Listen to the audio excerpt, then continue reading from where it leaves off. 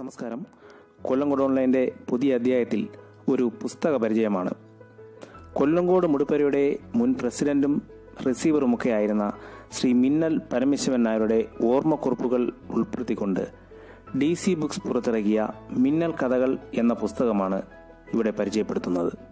ഒരു സബ് ഇൻസ്പെക്ടറായി ഔദ്യോഗിക ജീവിതം ആരംഭിച്ച് സിറ്റി കമ്മീഷണർ എന്ന നിലയിൽ സർവീസിൽ നിന്നും വിരമിച്ച മിന്നൽ പരമശിവൻ നായരുടെ ഔദ്യോഗിക ജീവിതത്തിലെ ധാരാളം സംഭവങ്ങൾ ഉൾപ്പെടുത്തിക്കൊണ്ടാണ് ഈ പുസ്തകം പുറത്തിറക്കിയിരിക്കുന്നത്.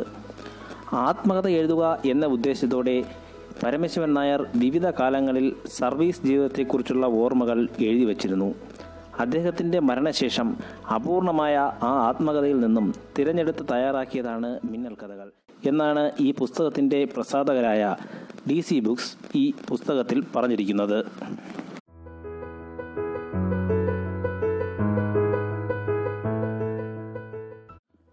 കൊല്ലങ്കോട് ശ്രീ ഭദ്രകാളി ദേവസ്വം ട്രസ്റ്റിലെ ഇടവിളാകം കുടുംബാംഗമായ ശ്രീ മിന്നൽ പരമേശ്വരൻ നായർ തന്റെ ഔദ്യോഗിക ജീവിതത്തിനു ശേഷം കൊല്ലങ്കോട് ക്ഷേത്രത്തിന്റെ പ്രസിഡന്റായും റിസീവറായും ഭരണം നടത്തിയിട്ടുണ്ട്. ഈ കാലയളവിൽ മിന്നൽ പരമശിവൻ നായർ കൊല്ലങ്കോട് മുടുപ്പരയിൽ നടത്തിയ ഭരണപരിഷ്കാരങ്ങൾ ഇന്നും ജനങ്ങൾക്കിടയിൽ മതിപ്പുളവാക്കുന്നതാണ്. ഈ പുസ്തകത്തിന്റെ ഒരധ്യായത്തിൽ മാത്രമാണ് അദ്ദേഹം കൊല്ലങ്കോട് ദേവി ക്ഷേത്രത്തെക്കുറിച്ച് വിശദമായി പരാമർശിക്കുന്നത്. അത് കൊല്ലങ്കോട് ക്ഷേത്രത്തിൽ അന്ന് നിലനിന്നിരുന്ന മൃഗബലിയുമായി ബന്ധപ്പെട്ടതാണ്. മിന്നൽ പരമശിവൻ നായർ തന്റെ അമ്മയും ഒന്നിച്ച് ആദ്യമായി അച്ഛന്റെ ജന്മസ്ഥലമായ മങ്കാട്ട് നിന്നും കൊല്ലങ്കോട് വെങ്ങഞ്ഞി ക്ഷേത്രത്തിൽ പെരുമ്പൂജ തൊഴാനെത്തി.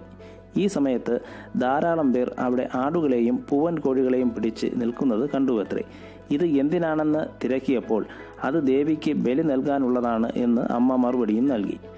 മൃഗബലി കണ്ട മിന്നൽ ബോധം കെട്ട് വീഴുകയും അദ്ദേഹത്തെ അവിടെയുള്ള ആളുകൾ തൊട്ടടുത്തുള്ള ആലഞ്ചുവടിൽ ഇരുത്തുകയും ചെയ്തു. അന്ന് ഇലുപ്പമൂട്ട് വീട്ടിലെ കാരണവരായിരുന്ന ശ്രീ നാരായണ പിള്ളയാണ് കൊല്ലംകൂർ ക്ഷേത്രത്തിന്റെ ഭരണം കൈകാര്യം ചെയ്തിരുന്നത്. മിന്നൽ അദ്ദേഹത്തോട് കരഞ്ഞുകൊണ്ട് അപ്പുപ്പ ഇനി ആടിനെ വെട്ടല്ലേ എന്ന് പറഞ്ഞുവെന്നും അദ്ദേഹം മറുപടിയായി പിള്ളേ ഇത് എല്ലായിടത്തും നടക്കുന്ന ഒരു ചടങ്ങാണ്. അത് നിർത്തിയാൽ ദേവി കോപിക്കും എന്ന് മറുപടിയും പറഞ്ഞു. ഭയം കൊണ്ട് കൂടുതലൊന്നും ചോദിച്ചില്ല എന്നും പിന്നീട് റാണി ലക്ഷ്മിബായിയുടെ കാലത്ത് ഇവിടെ മൃഗബലി നിരോധിച്ചു എന്നും അദ്ദേഹം കൂട്ടിച്ചേർക്കുന്നു.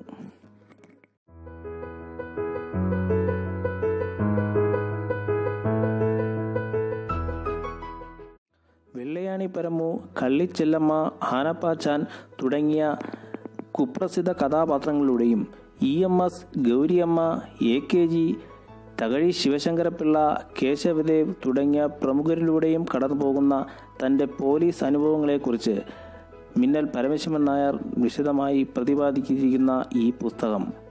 ഒരു കാലഘട്ടത്തിന്റെ നേർചിത്രം അനുവാചകർക്ക് പകർന്നു നൽകും എന്ന കാര്യത്തിൽ യാതൊരുവിധ സംശയവുമില്ല.